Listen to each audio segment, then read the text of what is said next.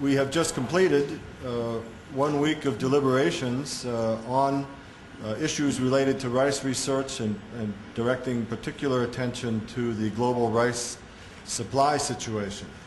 It's been in the headlines every day for the last several weeks that uh, a number of countries around uh, the world are facing uh, problems with supplying sufficient rice. Other countries have ceased or, or blocked their rice exports. Uh, this has caused a lot of concern around the world, and uh, a lot of questions have been asked about what is the source or what is the reason behind these, these shortages. Well, the short answer is that the world has been eating uh, more rice than it has been producing. Uh, we have seen for a number of years global rice stocks declining, and the question is why, why is that?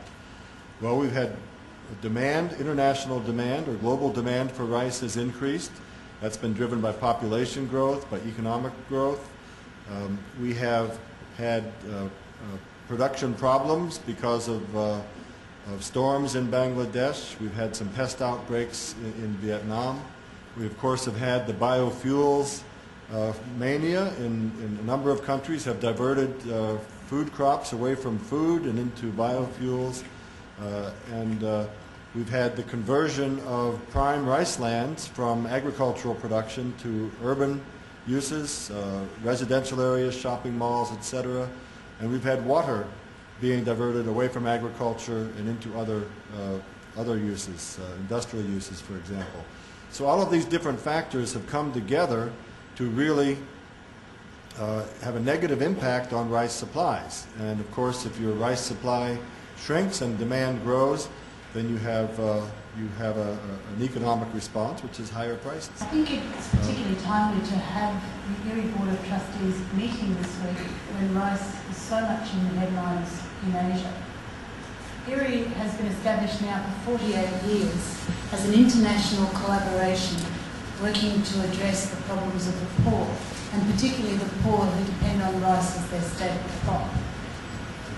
We are in a unique position to bring together the experience and insights of international experts, uh, together with the scientific partnerships that IRRI's developed with a whole range of national agricultural research and extension services in rice producing countries around the world, to be able to address rice supply.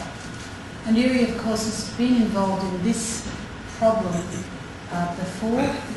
Our work in the context of the Green Revolution and in producing new high-yielding varieties of rice was specifically aimed at the situation where we found the world's poor who were dependent on rice badly affected by lack of supply and by price.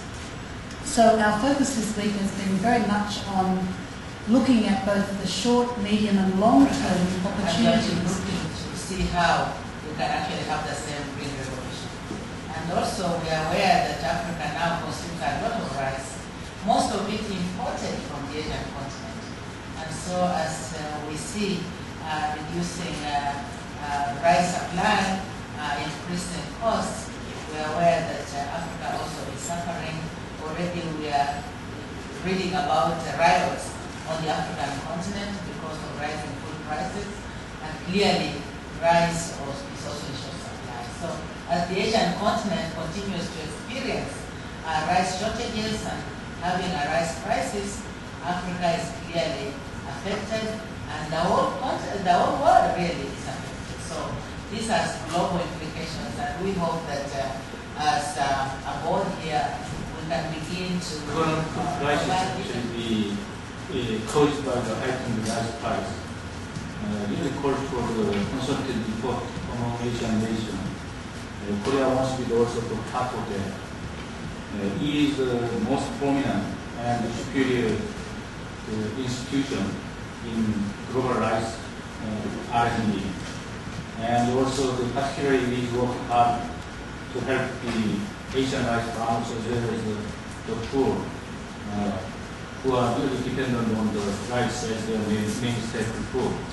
So the I'm quite sure the uh, International Rice Research Institute uh, will really help us in overcoming the current uh, food crisis as well as the future crisis in In Bangladesh last week, 12 months, we had two floods and a devastating cyclone which uh, really declined the domestic production of rice. We had to go for large imports. We did in the last nine months, we already have imported about 2.7 million tons. And more imports are coming, but it is not very difficult, it is not easy to import because most rice surplus countries have imposed ban on exports. So we are having special negotiations with India, Vietnam, Myanmar, and Thailand to bring in more import. But uh, there may not be a shortage of supply, not much shortage of supply, but prices will be high compared to last year. It's almost double. The international prices have gone up. The real problem is that uh, real issues are affordability. People cannot afford to buy rice at that high price, though there is no shortage of much shortage of supply. So there is some panic uh, in the country, and uh, they are worried about the future. And uh, traders are also keen on increasing profits. I must say that Japan experience shows very clearly the importance of R&D.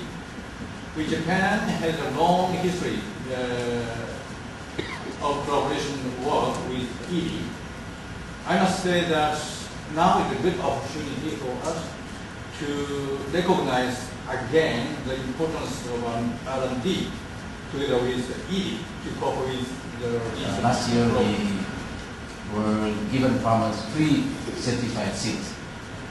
Uh, and then a revitalization of uh, extension services to enable farmer to, to implement new technology. Uh, some come from IRRI and also building and rehabilitation of uh, farm infrastructure. It's not only affect the Philippines, but has, has been affecting all the other countries that are seated uh, and represented on the on this table or on this board. Uh, what is key for me to note as I listened to all of them was that we are grappling all with the same situation. On the issue of prices, it is the common consensus of the board members that, uh, as Dr. Syeduzzaman has said, we are looking at a situation of uh, firm prices at least in the next 18 to 24 months. Uh, what is also key is the fact that all of us are trying to look for innovative solutions in our countries on how to address uh, not only the issue of supply, but the issue of prices, on how to bridge the gap of ensuring that uh, food poor families get to eat, uh, and how this is really affecting the poor of our country. But what is also very clear this afternoon as we sat here uh, in the meeting is that there are solutions and we can move forward from where we are today. Which is why the IRRI board is very strong in coming up with partnerships on technology. And in fact, with the Philippines, we have a collaboration. PhilRice and the International Rice Research Institute is collaborating very strongly in addressing issues of uh, coming up with not only planting technology, but also coming up with the right seeds. The weather has changed uh, how we should plant. The weather has made it imperative that we come up with better quality seeds, short staging seeds, seeds that can weather disease, seeds that can weather changes in temperature, seeds that can weather less water in different types of conditions seeds that can weather areas that have been invaded by salinity. And we have these uh, programs and in the coming weeks, President be visiting the International Rice Research Institute to sign a stronger agreement, firming up uh, all of these agreements between PhilRice uh, and IRRI.